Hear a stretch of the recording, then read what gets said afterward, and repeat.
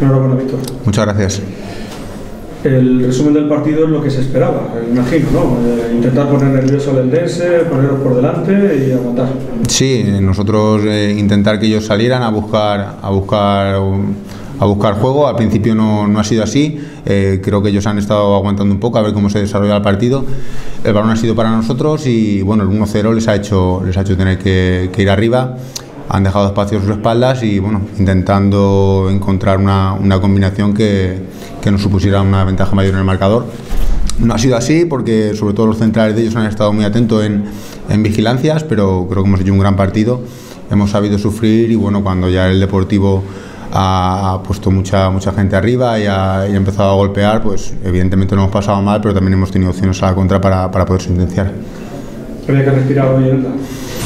Sí, yo creo que estábamos los dos los dos clubes en una situación, cada uno en, su parte de la tabla, pero, pero no donde queremos estar, ninguno de los dos clubes, y era un partido vital para los dos. Bueno, yo estoy contento de que, de que venga para Novelda porque los chavales están trabajando como, como auténticos demonios y, son muchas semanas que estamos, que estamos ahí, se merecen esta victoria. Ahora tenemos que intentar refrendarlo en casa, que, no hemos dado una alegría todavía a la Madalena y creo que la gente lo está deseando sabéis que el Eldense era así, porque no ha cambiado sí. nada el esquema durante toda la temporada. Un equipo que, que, la toca, que la mueve, pero que entre los tres palos, poquito.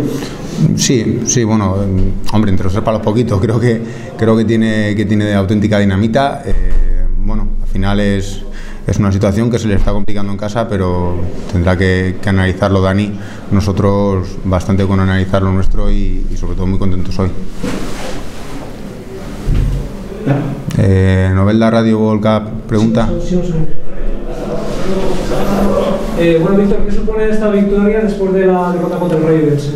Bueno, pues la verdad es que supone volver a respirar, supone dos victorias seguidas fuera de casa, eh, supone que hemos perdido un partido de los últimos creo que siete u ocho y que el accidente de, de Ibi no se repita y que quede en eso, en un accidente. Creo que, que la línea del equipo sigue siendo hacia arriba. Lástima la semana pasada después de ponernos 1-0 no poder, no poder refrendar ese partido. Eh, la verdad es que hemos tenido que crecer debido a la lesión de Luis García que te ha obligado a recomponer y jugar con jugadores fuera de posición como Babel. Claro, pero ya no nos quedaba otra. O, era Babel, o, o, era Víctor, o era Juan Fran de Central. Al final, la, la desgracia de, del apendicitis de Oscar Amat eh, ha venido en el peor momento posible. La acumulación de partidos, la semana de tres partidos sin poder hacer rotación en, la línea defensiva, pues evidentemente a nivel muscular, pues tanto Juan Fran como Pepe Sellés como, como Luis García pues estaban, estaban arrastrando molestias y Luis no ha podido acabar el partido. Supongo que al margen del resultado creo que también satisfecho por la actitud, nada que ver a lo de hace siete días. Es que, es que los últimos 20 minutos de, de Ibi no tienen nada que ver a los últimos mes y medio nuestro. Eh, vamos a dejarlo ahí. Yo creo que esta es la línea que, se vio en Crevillente, que, supimos sacar un punto a última hora. Esta es la línea que se vio contra Villarreal, que se vio en la Roda. Y lo raro fueron los últimos 20 minutos de, del partido contra, contra el Revivense y esperemos que no se repitan. Supongo que el equipo ahora se gana la oportunidad de que de nuevo el público vuelva a la Magdalena a ver si llega esa primera victoria. Una vez más, una vez más. Y además partido bonito contra, contra el Castellón. Eh, tiene que ser la nuestra de esta semana, creo que, que nos lo estamos mereciendo, creo que en casa hemos tenido partidos para, para podernos llevar la victoria y seguramente va a ser contra Castellón y encima un partido bonito, bonito de los de tercera como, como era el de hoy. Gracias. A vosotros. ¿Y el penalti, Víctor? El penalti, que si, era, que si para mí era penalti, para mí sí era penalti. Sí. Buenas noches. ¿Alguna explicación, mister, a esta derrota en casa? Bueno, el partido yo creo que no hemos entrado los primeros minutos como deberíamos entrar en el partido. Yo creo que ellos en ese principio han estado mejor que nosotros. A partir de la hemos tenido ya hemos tenido una ocasión delante del portero que era de Hornet, que ha sido una acción medio un poco a la contra. Eh, y luego ha venido pues la acción fatídica de, del penalti, que es una acción totalmente evitable, que nos teníamos que haber evitado una acción que es sencilla de despejar y que se transforma probablemente en pues, un penalti. Si de la semana pasada era tonto, pues este era bastante más. Hemos tenido un momento, una fase de que la verdad que creo que se nos ha venido todo un poco encima. Eh, y aún así, pues, los últimos 20 minutos de la primera parte pues, han sido bastante buenos. Hemos tenido tres ocasiones muy claras para, para marcar y, y no las hemos marcado. El inicio de la segunda parte creo que también ha sido bueno en el sentido de que los hemos tenido ahí, ahí, ahí, ahí. Hay un par de contras donde, a partir del minuto 15, por ahí, un par de contras de ellos donde, donde bueno, pues la verdad que mmm, nos, nos, hemos dado cuenta de que también estaban allí, que podían, nos hemos dado cuenta de, de que podía venir también el segundo, nos ha, nos ha parado un poco, ha habido un momento un poco de impasse, creo que luego con la entrada de Miguel hemos vuelto a cargar y, y, bueno, la verdad que hemos cargado pues de forma y, y, hemos cedido mucho espacio que también nos puede haber costado pues un segundo un segundo gol. La verdad es que creo que no hemos hecho un buen partido, probablemente de los peores partidos que hemos hecho eh, últimamente. Creo que nos ha podido en exceso eh, la tensión y los nervios y no hemos estado todos los finos que deberíamos estar. Hemos llegado a frontal del área, pero hemos llegado con menos claridad que en otras ocasiones.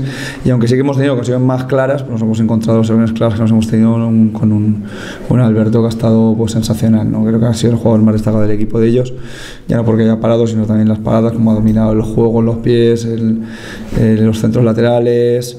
Es decir, una serie de circunstancias pues que el, la verdad que ha estado sensacional. La verdad que eh, no tengo ni palabras, solamente con lamentar con muchísima profundidad a todos los aficionados que han venido aquí, pues que hayan visto eh, la derrota y la verdad es que eh, y de la forma como ha sido. María, ¿el Deportivo está ahora mismo en un laberinto o en un callejón sin salida?